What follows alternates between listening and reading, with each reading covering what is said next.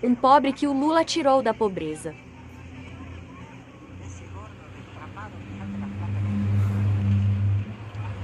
Lulinha, filho do ex-presidiário Lula, maior ladrão da história do Brasil, saindo do hotel em Dubai, com sua Ferrari banhada a ouro, adquirida às custas do sacrifício do povo brasileiro.